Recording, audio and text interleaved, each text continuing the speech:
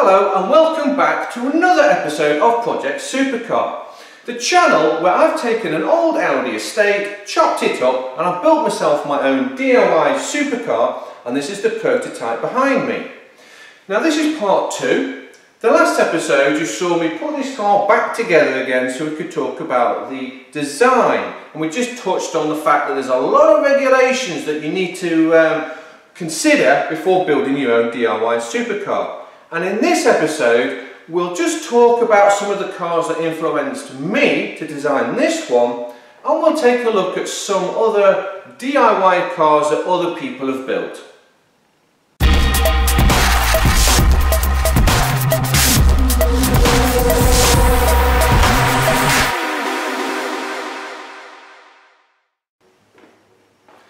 Taking inspiration from other car designs out there is nothing new within the car world.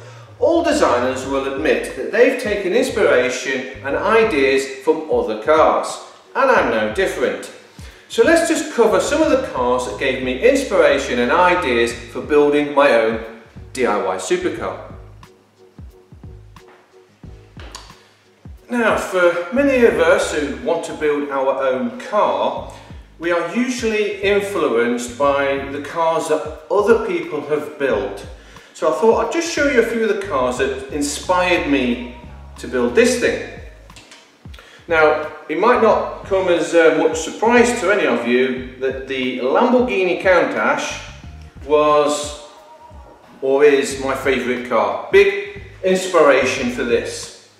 Now I quite like both sort of versions of the Lamborghini Countach, which is the original design, and also this one here, which has got all the scoops on it and flares.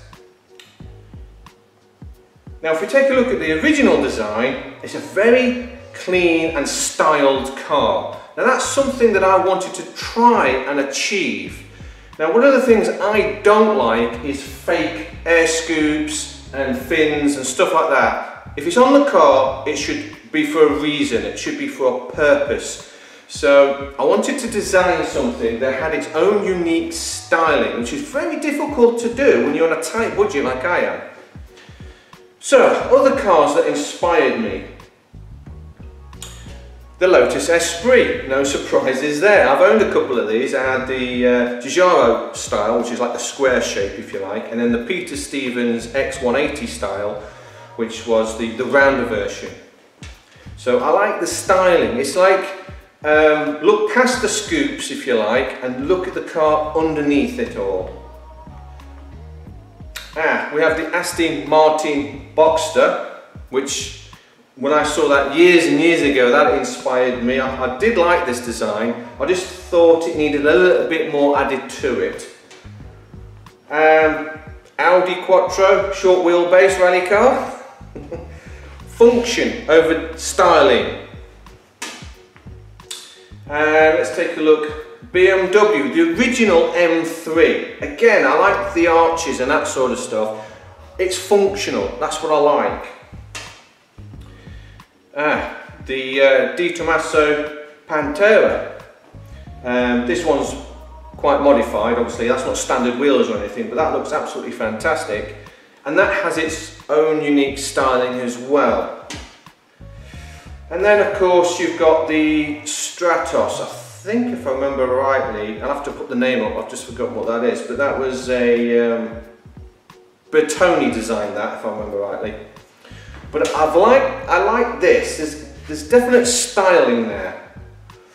Ah, yeah, the Vector W8. Again, I like this sort of thing. There's a few bits and pieces that I'd probably change, but again, this, these are the cars that influenced me to design this thing. So I'll probably go over more images like this over the coming episodes because I just can't put everything into one video regarding styling. So when we look at this car in more detail, I'll show you some cars that gave me inspiration.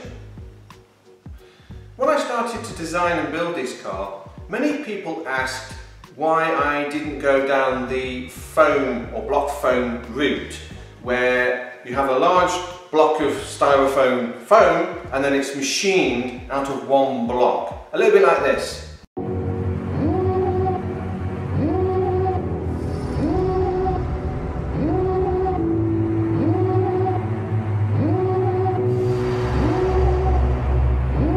Devil in a red dress.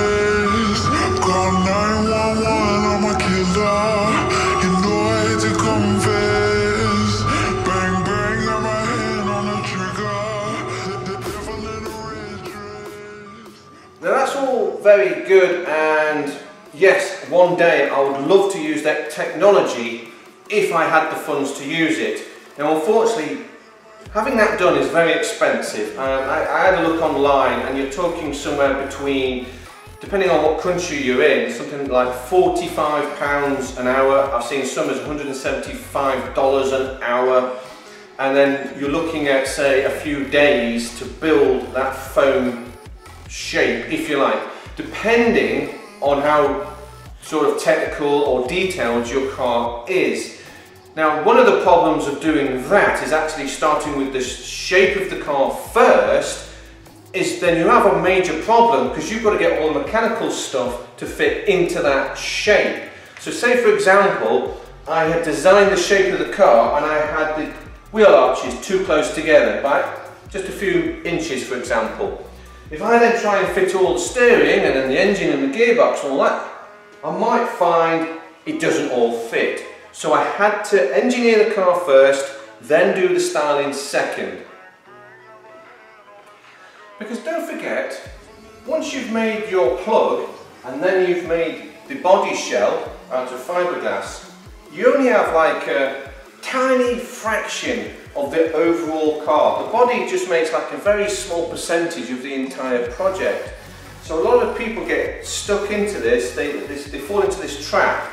Um, they'll buy a kit car online, kit car, and you'll get a, you know, a shell and a rudimentary chassis and then it's up to you to engineer the rest of the car which is 99% of the car and often uh, people struggle to finish the build because of this.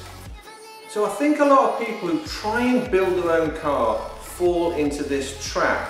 You really do need to lay out your entire car first, all mechanically, seating, steering and everything, and then try and get your design and styling to sort of fit the mechanical parts of the car. Now, at this part of the video, I'm going to show you some images of some cars that people have built themselves. I don't want to be sort of laughing at them, okay? I sort of ummed and ahed whether or not to do this, but I want to show you some examples of what I think has gone a little bit wrong. But for every single one of these people, they get thumbs up from me for having a go. Okay, so try not to laugh. Sorry. Right, we've got this um, orange car. Not exactly sure what's going on. Um, but yeah, make up your own mind on that one. So the next one I found is this thing. Um, to me, none of the scoops or fins or anything like that sort of blend together. It's almost as if they had the car and instead of trying to style it as a complete car, they just concentrated on little areas. Okay, you, you know, nice try. Then there's this one. I think it's a Mustang underneath that. Um, I don't know if it's finished or not. Um, interesting. Uh, there's another look. Okay, so I know, you know, the rear of the car really doesn't quite work, I'm afraid, sorry. Um, but I know that designing the rear of the car is actually very difficult um, and we'll get into that in another episode. Then there's this one in grey primer, not finished, but um, okay, I, I, don't think those headlights would actually be road legal. Remember those regulations that we have to follow because you can't just make a car and make it look cool the way you want it. There's these bureaucrats and they tell you what you can and cannot do, okay? Otherwise it won't go on the road. And we'll, we'll cover that in other episodes as well. Uh, there's a um, angle from the rear. Okay, interesting. It's, you know, you know, there's a side view, okay? I think it's an MR2 underneath all that lot. Uh, there's the, then there's this. Uh, this is um, I'm not sure what it is. Um, talk about fin overload, there's fins all over it. Uh, there's the rear, and I, and I know doing the rear of the car is difficult. And there's another look from the front. See, I think what's going on is a lot of people try and design a car and then they end up with a car that hasn't got any style and then they put fins and scoops everywhere to try and make it look interesting. Um, we'll take a look at this one. I mean, I'm not saying it's ugly, but is there just too much? Is there too many fins and cuts and angles on it? I like cuts and angles, but just a little bit. But this one, I don't know, it, it seems a little bit um, overkill. Now, it isn't just DIYers that get this thing wrong. Um, I think there's, there's a company out there that I really like, which is obviously Lamborghini, and they've made some fantastic looking cars, but have they gone too far with this one?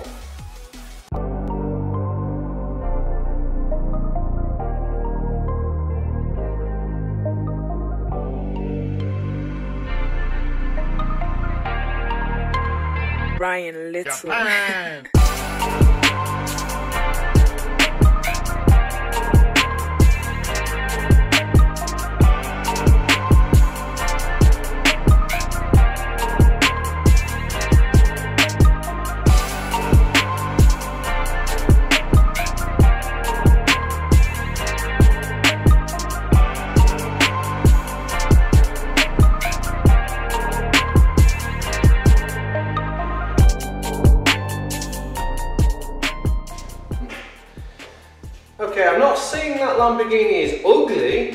But is it overkill for a supercar which is supposed to be for road use? Is it too much?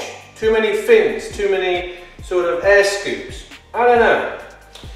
Anyway, styling, like beauty, like I say, is in the eye of the beholder. There's some people out there that think the Lamborghini Countach looks ugly and they think the Fiat Multipla is a work of art. So you can't please everybody. Now, when I designed this car, it was really for me. Now, I'm going to be honest here. The end result is about 70% of what I wanted to achieve. I'm about 70% happy with it. There are areas on this car that I want to go back to and change the styling. Um, someone made a comment uh, on one of my videos, said, paint the car. Now, it doesn't quite come out on camera, but this car looks better in person. It might look like these panels are flat because there's no sort of shimmer, there's no paint on it. But I can tell you, every single panel on this car has got a curve in it. There is not a single flat panel anywhere. So it doesn't come out too well on camera. But I think once this is painted, and I've changed some of the styling, I think I might have to go back and have a go at the bonnet again. I think that needs tweaking. You've probably seen some pencil marks here and there that I want to change. But uh, we'll go over that in other videos. But yes, um, so that's styling. Uh, we've just touched on it in this video and I will go into more detail as I make more videos. Talking about making videos, um, I just want to apologise to everyone out there because I haven't uploaded in a while and I did notice some of your comments. Uh, obviously the world has changed. We're in this crazy lockdown world. Um, I don't want to go into too much detail, but it's basically wiped out my whole life, okay? Um, everything was cancelled when that happened. Um, all the car shows is gone, all the car meetups is gone. Everything I had planned for this year is now being cancelled and done. I was hoping to bring some special guests to the channel, you know, expand on the channel, because I wanted to do some car reviews and I wanted to talk to people who had already built their own kit car, DIY supercar or heavily modified car, something like that, something interesting. So I wanted to, I wanted to expand on the channel, but all that doesn't look like it's going to happen now. And what makes it even worse is we're now hearing stories that the figures were exaggerated, the death certificates have been you know, made up, um, they're fake. Um, there's doctors out there saying it's nothing but the flu. And you know, you look around and you see that the world's economy has been destroyed and people are out of work, businesses have shut down and all this sort of stuff. This is insane. Um, okay, this is a, a, car channel. I don't want to go into geopolitics or anything like that. And um, but I just want to say that this lockdown has absolutely smashed everything I had planned for this channel. So yeah, for a while I was a little bit down in the dumps. You know, I just couldn't feel you know didn't want to really get out of bed and, and do videos, if, if you know what I mean. But I'm going to carry on, okay? I'm going to have to change a few things. Some of the plans I had planned aren't going to happen. So, I think what I'm going to do is, um, actually I'll bring you over to the donor car. So, the donor car. I started stripping this down and then the whole world decided to close down with crazy governments doing crazy stupid stuff, bloody bureaucrats. Anyway, this is sat here and it's getting in the way. So I think what I'm going to do is I'm going to carry on stripping this down. I've got to cut it all up, that sort of thing. So I'm going to make a series of videos and I'll just concentrate on this for a while I think. Once this is totally gone and I've got all the spares that I want to keep and I've got rid of the rest and I've got the house back together again, I'll continue doing prototype videos and I'll go over the styling in more detail and I'll show you how I made the rear clam, the doors, electric windows and all that sort of stuff. So I will be making more videos. I don't know how regular they will be. Um, I've got whole load of other things going on in my life at the minute which I'm going to have to sort out.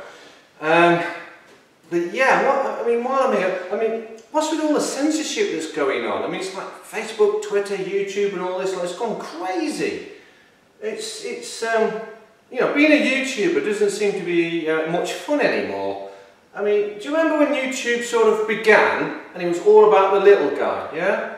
But it's all gone corporate now and it's just not fun anymore. Anyway, um, I'm sorry to be a bit of a downer. Let's end this video on an upbeat note, okay?